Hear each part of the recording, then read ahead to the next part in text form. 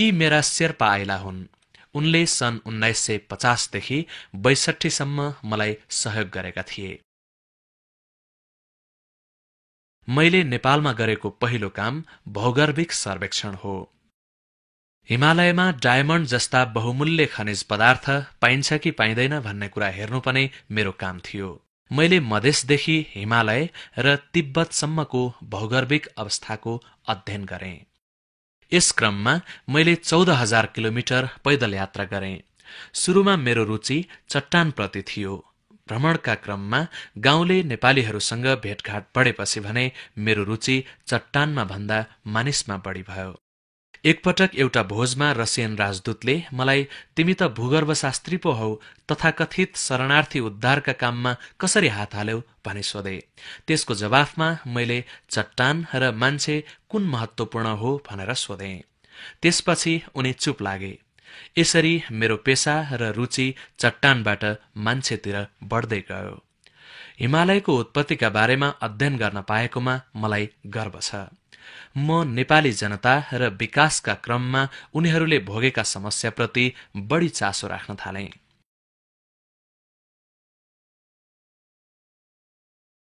नेपाली जनताले भोगिरहेको एउटा प्रमुख समस्या ठूला नदीनाला तर्नु थियो। यो पूर्वी नेपालमा पर्ने सुनकोशी नदी हो।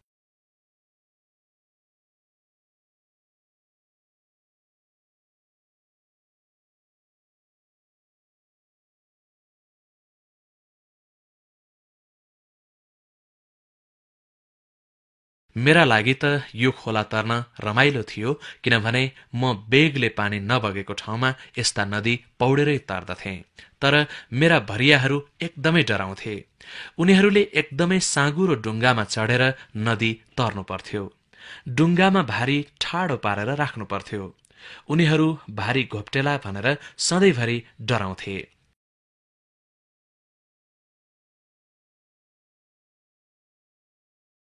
मेरा भरियाहरूले पौडन जानेका थिएनन्। बाह्र जनाको भरियाको हुलमा एकाध जनाले मात्र पौडन जानेका थिए होलान्। मेरा शेर्पा आइला मलाई जहिल्यै पनि पौडेर नदी तर्नुहुन्न भन्ने गर्थे। यस्ता नदीमा गोही हुन्छन् भनेर उनी डराउँथे। एकपटक म काली गण्डकीको तल्लो भागमा पौडी खेलेर नदी तर्न लागेको थिएँ। पानीमा बगेर तलतिर आउँदै गरेको मुडो जस्तो चिज देखेँ। म पानीमा पस्न मात्र लागेको थिएँ त्यो त गोही पो रहेछ।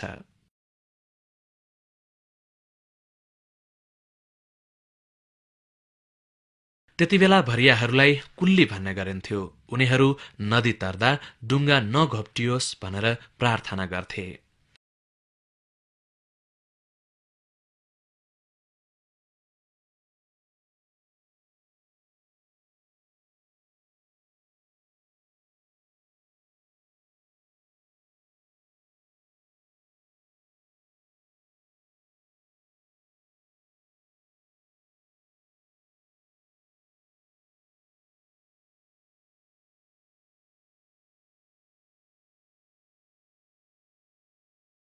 यो रातो कपडा मेरो मोजा हो। पहिलो पटक भ्रमण गर्दा मैले हरेक तीन हप्तामा एक जोर मोजा फटाएँ। मसँग भए जति मोजा फाटिसके त्यसपछि मैले स्विस सेनाको एउटा कथा सम्झे। स्विट्जरल्याण्डको पहाडी भागमा ख्याति प्राप्त आदिवासी बस्छन्। उनीहरू सेनामा हुँदा कहिल्यै पनि मोजा लगाउँदैनथे। त्यसका ठाउँमा उनीको फेटा जस्तो कपडा खुट्टा वरिपरि बाँधेर त्यसैले काम चलाउँथे। मैले पनि उनीहरूले जस्तै नेपालमा बनेको दह्रो खालको उनीको फेटालाई मोजा बनाएर लगाएँ। यसले छ महिनासम्म थाम्थ्यो।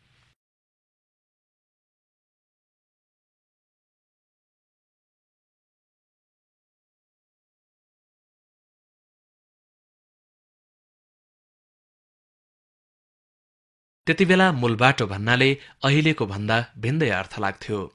मान्छे हिँड्न हुने बाटोलाई मूल बाटो भनिन्थ्यो। सानो बाटो भनेको हिँड्न मुस्किल पर्ने बाटो हो।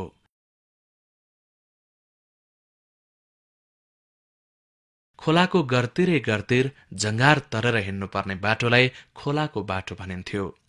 यो सुनकोशी नदी किनारको उत्तर दक्षिण बाटो हो।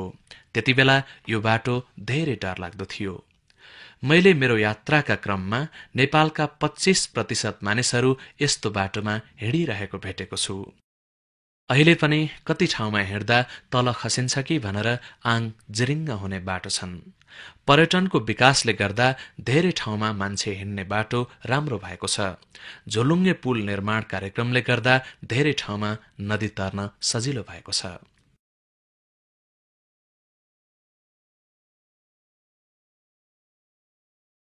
त्यति बेला कतिपय नदी तर्ने घाटमा डुङ्गा समेत हुँदैनथ्यो। यो निकै ठूलो नदी हो। नदीको पानी सफा र तातो थियो।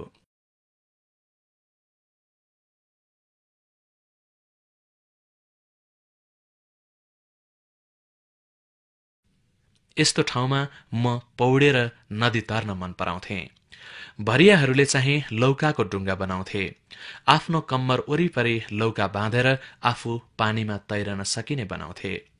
डुङ्गामा आफ्नो भारी राखेर उनीहरू त्यसैको छेउ समातेर नदी तर्थे।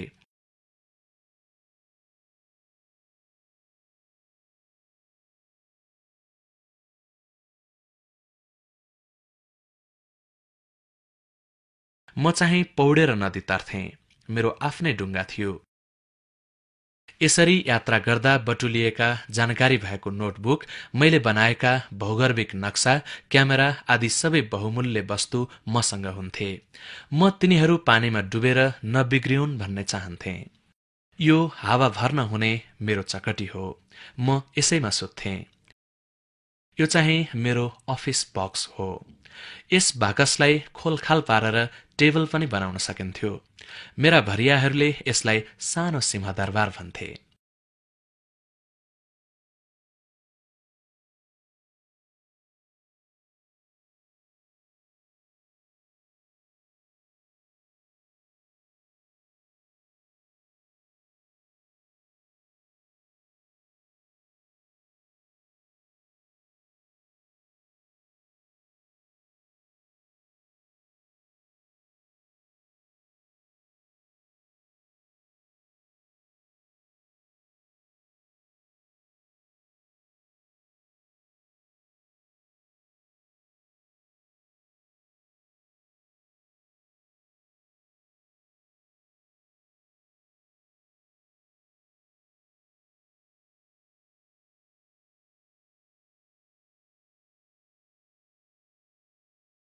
बर्खाका बेला नेपालमा बाटो हिँड्न सकिँदैनथ्यो।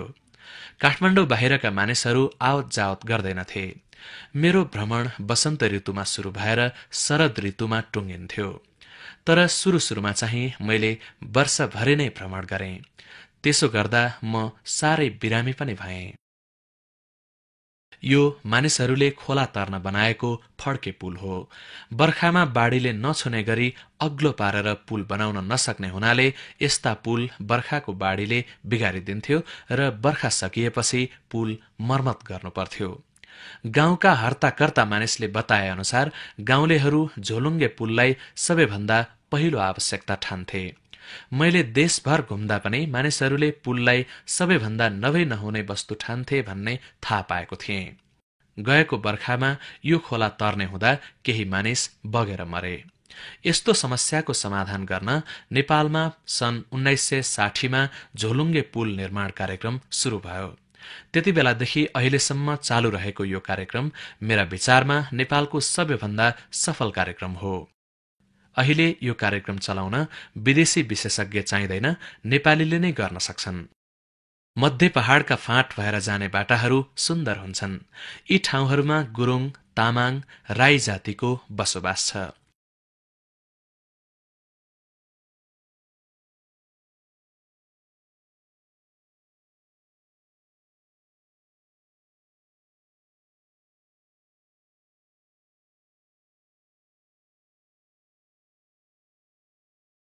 यो चाहिँ पश्चिम नेपालको धौलागिरीको छेउछाउ। यो असाध्यै सुन्दर ठाउँ हो। मैले अरू विदेशीले घुम्नु अघि नै नेपालका कुना काप्चा घुम्ने सुनौलो मौका पाएको थिएँ। त्यति बेला विदेशीहरू काठमाडौँमा मात्र घुम्न पाउँथे। धेरै टाढा गए उनीहरू ककनीको डाँडासम्म मात्र डुलफेर गर्न पाउँथे।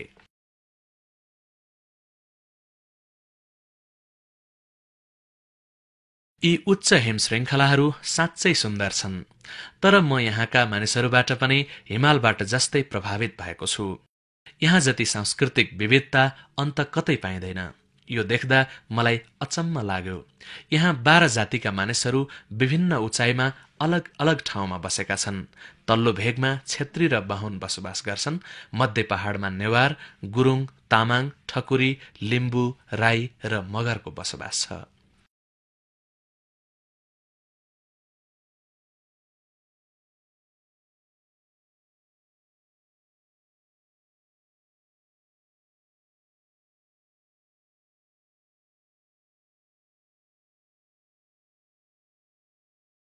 धौलागिरीको दक्षिणी भेगमा चैत्र वैशाखमा गुराँस बिछट्टै राम्रो गरी फुल्छ। के भएर हो कुन्नी यो फिल्ममा चाहिँ त्यति राम्रो देखिएन। मैले यति राम्रो गुराँस फुलेको दृश्य भेट्टाउन तीन पटकसम्म धाउनु पर्यो। गुराँस फुल्ने महिना चैत्र वैशाखमा दिन छ्याङ्ग खुलेको हुँदैन। ढुस्स तुवालोले ढाकेको हुन्छ। त्यसैले यस्तो राम्रो खुलेको दृश्य खिच्नलाई मैले तीन पटक प्रयास गर्नु परेको थियो।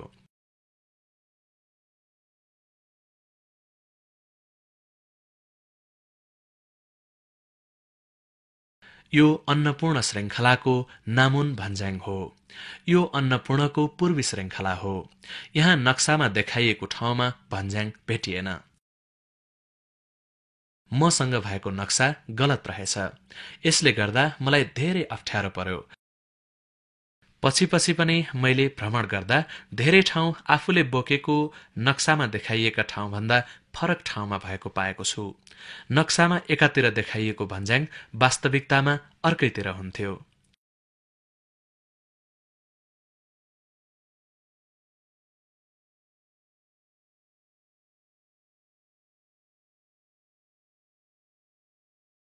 मेरो यात्रामा मैले धेरै सुन्दर हिमाल भेट्टाएँ।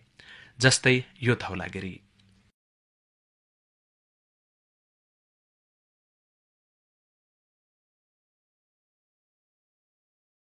हामीलाई पश्चिम नेपालको भेरी नदीको उत्तर गंगाको माथिल्लो भागमा नदी तर्न सबैभन्दा अप्ठ्यारो परेको थियो। यहाँ पानी बेगले बगेको थियो। नदी हान्निएर बगेकाले हामी कोही पनि पौडेर नदी तर्न सक्दैनथ्यौं। भरियाले समाएर तर्न हुने गरी डोरी टाङ्नु पर्थ्यो। यहाँ मैले भारीका सामान झिकेर फेरि मिलाउनु परेको थियो। साधारणतया मैले एउटा भारीमा एउटा वस्तु राखेको हुन्थे।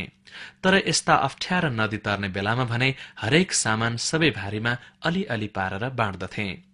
अलिअलि खानेकुरा अलिअलि औषधि अलिअलि उपकरण र अरू कुरा। कुनै एउटा भारी बगाउँदा एक थरी सबै सामान नबगोस् भनेर यसो गर्नु परेको हो। फोक्सुन्डो ताल। स्थानीय मानिसले रिङ्बो भन्ने गरेको यस तालबाट उत्तरमा रहेको डोल्पो क्षेत्र प्रवेश गर्न सकिन्छ। म सन् उन्नाइस सय बाहन्नमा डोल्पो पुग्नुभन्दा पहिले कुनै विदेशी त्यहाँ पुगेका थिएनन्। फोक्सुन्डो ताल छेउको भिरको बाटो एकदमै अप्ठ्यारो छ। हिउँदका बेलामा माथिबाट नुनको व्यापार गर्नेहरू यो बाटो झर्ने गर्थे। चौरी र खच्चर हिँड्न नसक्ने भएकाले तिब्बतीहरू यहाँसम्म आइपुग्दैनथे। नेपालमा नुनको ढुवानी पनि मानिसले पिठ्यौमा बोकेरै गर्नुपर्थ्यो। भरियालाई त्यति बेला कुल्ली भन्ने गरिन्थ्यो। उनीहरूले दिनको दुई रुपैयाँ ज्याला पाउँथे। खाना उनीहरू आफैले किन्नु पर्थ्यो। तर मेरो भारी बोक्ने भरियाहरूले राम्रै आमदानी गर्थे किनभने म उनीहरूलाई बेला बेलामा च्याङ्रा किनेर मासु खुवाउने गर्थे। उनीहरूलाई खुसी पार्न म त्यसो गर्ने गर्थे। अग्ला र अप्ठ्यारा भन्ज्याङ पार गर्नुअघि मेरा भरियाहरू डराउँथे। म उनीहरूलाई भन्ज्याङ काटेपछि च्याङ्राको मासु खुवाउला भनेर लोभ्याउँथे। भन्ज्याङ पार गरेपछि हामी सिङ्गै च्याङ्रा खान्थ्यौं। एउटा च्याङ्राको मासु दुई दिनसम्म पुग्थ्यो। त्यसपछि हामी सबै शाकाहारी हुन्थ्यौं। पश्चिम नेपालमा पर्ने सुन्दर हिमाल कान्जिरोवा।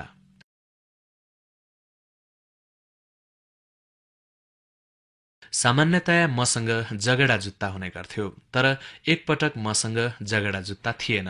त्यसैले जुत्ता फाटेपछि मेरो शेर्पा आइलाले नाइलनको डोरीले जुत्ता बाँधिदिए। यसो गरेपछि जुत्ता दुई तीन हप्ता अथवा यात्रा नसकिउन्जेल टिक्थ्यो सन् उन्नाइस सय चौन्नमा मैले सबैभन्दा लामो भ्रमण गरेको थिएँ। त्यस वर्ष म दैलेख जाजरकोट सिमीकोट र त्यहाँबाट मुगु गएको थिएँ। मुगुमा म नराम्रोसँग बिरामी परे। मेरा भरिया पनि बिरामी भए। त्यति बेला मुगुमा भारतीय सेनाको चेकपोस्ट थियो। त्यहाँबाट काठमाडौँ स्थित भारतीय राजदूतावाससँग रेडियो सम्पर्क गर्न सकिन्थ्यो। मैले आपतकालीन सहायताका लागि काठमाडौँ खबर पठाउन खोजे तर भारतीय दूतावासले मेरो खबर टिप्ने फुर्सद छैन भनिदियो।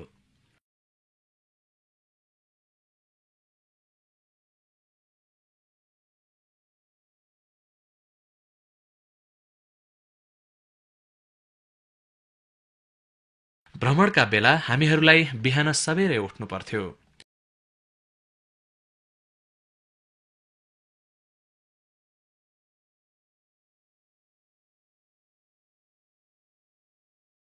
आइलाले मेरा लागि ब्रेकफास्ट तयार गर्थे। घामको झुल्कोसँगै नउठ्नेको पाल उठेका मानिसले खोलेर उनीहरूलाई उठाउन पाउने सम्झौता गरेका थियौं। को बेलैमा उठ्दैन र उसको पाल यसै गरी झार्न पाउला भनेर हामी हरेक बिहान सबेरै एक अर्कालाई हेर्ने गर्थ्यौं। एकपटक भरियाहरू धेरै ढिलोसम्म उठेनन्। त्यसपछि मैले भरिया सुतेको पाल खुस्काइदिएँ। उनीहरू सुतिरहेका थिए। मैले ठुल्ठुलो स्वरले कराएर पाल झारेँ। एकपटक यसो गरेपछि उनीहरू बेलैमा उठ्न थाले त्यसपछि हामीले पाल खुस्काउनु परेन।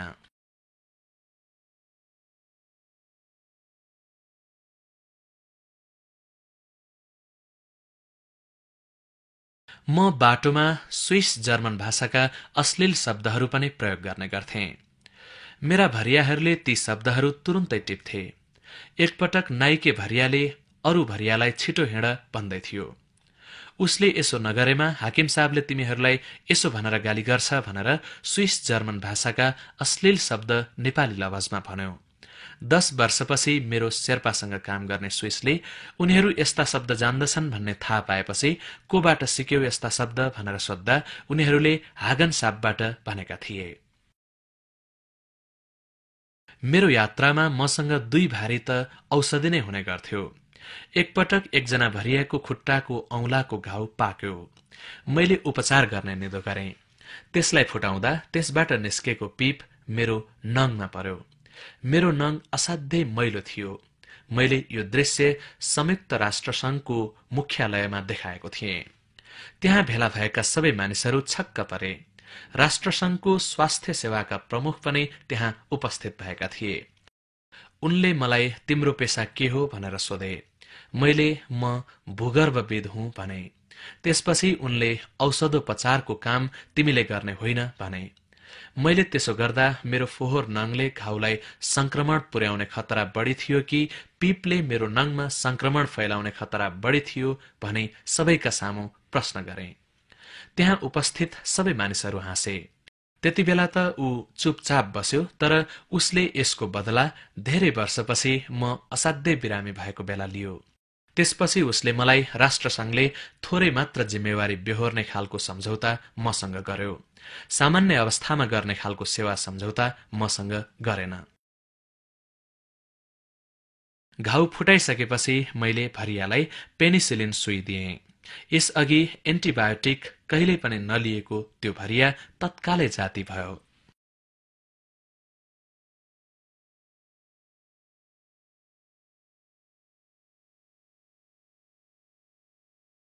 भरिया बिरामी भएको अर्को पनि घटना मैले बेहोर्नु पर्यो।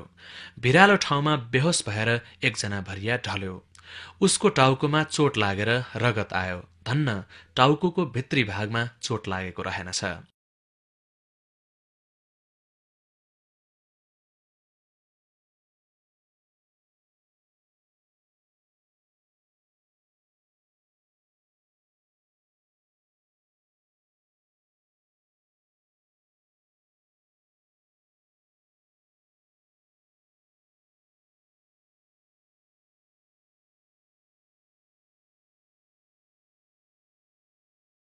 मैले उसलाई कुरामिन सुइदिएँ।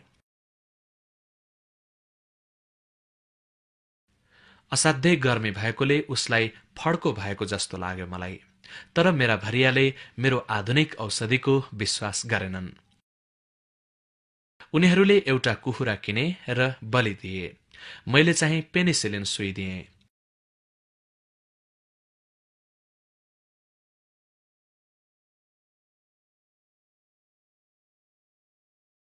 उनीहरूले कुखुरा बलि दिएकाले बाँचेको भन्ने ठाने दुई दिनपछि ऊ पूर्ण स्वस्थ भयो। तर उसलाई केले बचायो? कुखुराले पेनिसिलिनले वा कोरामिनले भन्ने कुरामा भने म र उनीहरू बीच मतभेद भइरह्यो।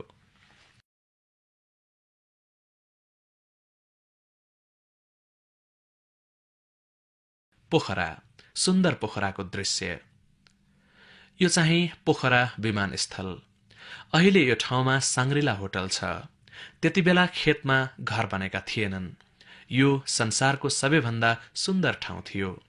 अहिले पनि सुन्दर छ। सहरबाट अलिकति बाहिर निस्कने बित्तिकै समुद्र सतहबाट आठ सय मिटर अग्लो मैदान भेटिन्छ। मैदानको भित्तामा आठ हजार मिटर अग्लो हिमाल। फेवाताल त्यति बेला सफा थियो। तालमा ढल मिसाइएको थिएन। ताल वरिपरि घरहरू थिएनन्। यस ठाउँलाई हामी स्विस बीच भन्थ्यौं। हामी यहाँ क्याम्प बनाउँथ्यौं। मेरो परिवार आएका बेला हामी यहीँ बस्थ्यौं।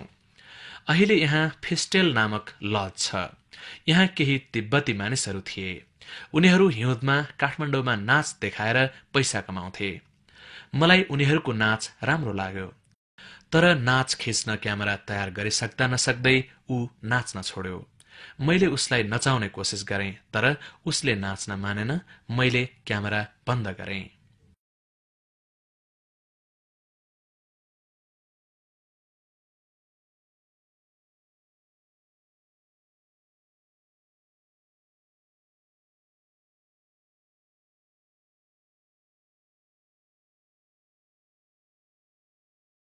सन् उन्नाइस सय बाहन्न त्रिपन्नमा मेरी पत्नी र छोराछोरी पनि नेपाल आएका थिए। उनीहरू मसँगै सकेका जति ठाउँ घुम्न चाहन्थे। सुरुमा मेरो काम काठमाडौँ वरपर थियो। त्यसैले हामीले उनीहरूलाई सँगै लग्यौं हिँड्दा थाकेपछि उनीहरूलाई डोकामा बोक्नु परेको थियो। मेरी सानी छोरी मोनिका। ऊ दुई वर्षकी थिए। उसले डोकोमा बस्न मानेकी थिइन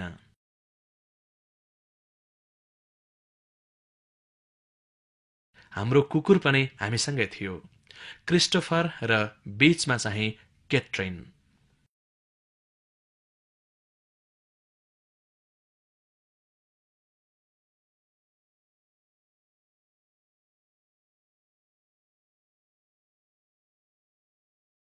यो नागार्जुन र थानकोट बीचको कुनै भाग हुनुपर्छ। गणेश हिमाल असाध्यै राम्रो छ। त्यति बेला यहाँको हावा सफा थियो। वायु प्रदूषणले गर्दा अचेल यस्तो सफा दृश्य आक्कल झुक्कल मात्रै देख्न सकिन्छ।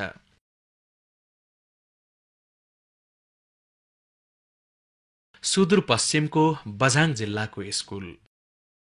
चौरमा पढाइ हुने यस स्कुलमा पुग्ने म पहिलो विदेशी थिएँ। त्यहाँका शिक्षक खुसी थिए।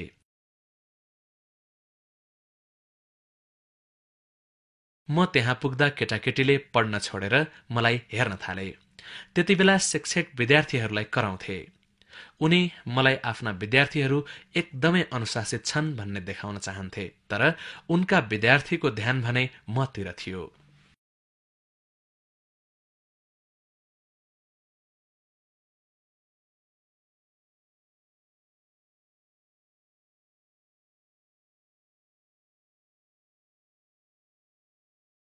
त्यति बेला नेपालमा थोरै मात्र स्कुल थिए। नेपालमा शिक्षा प्रणालीको आलोचना गरिन्छ तर पनि शिक्षाका क्षेत्रमा नेपालले निसन्देह धेरै प्रगति गरेको छ।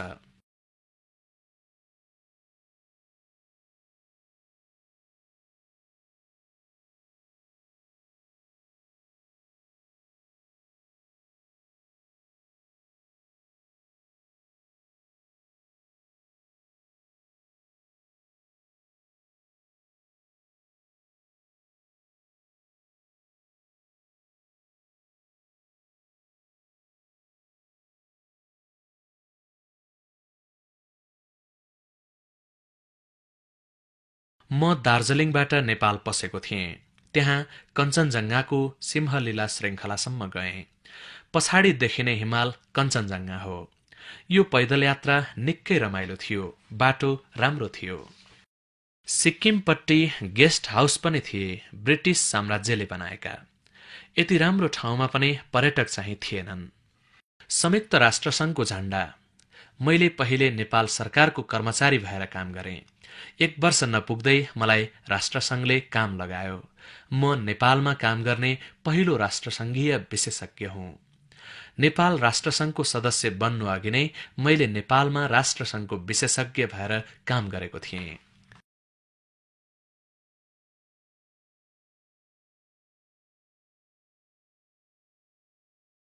सोलुखुम्बु जिल्ला। सल्लेरीको छेउछाउ हुनुपर्छ। यो ट्याङबोचे गुम्बा हो। म सन् उन्नाइस सय छप्पन्नमा त्यहाँ पुगेको थिएँ। सगरमाथाको चुचुरोमा मानिस पुगिसकेको भए पनि त्यहाँ त्यति धेरै पर्यटक थिएनन्। त्यहाँ पुग्न मधेस अथवा काठमाडौँबाट पुरै तीन हप्ता हिँड्नु पर्थ्यो।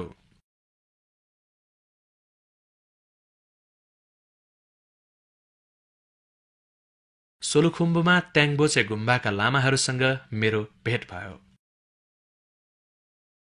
हामीलाई भाषाको समस्या बिल्कुलै परेन भन्नुपर्छ। उनीहरूले तिब्बती भाषा बोले मैले स्विस जर्मन भाषा बोले।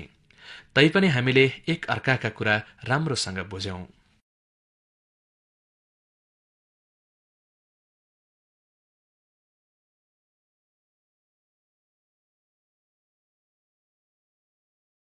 सगरमाथाको बेस क्याम्पमा आएपछि मैले भरिया फेर्नु पर्यो।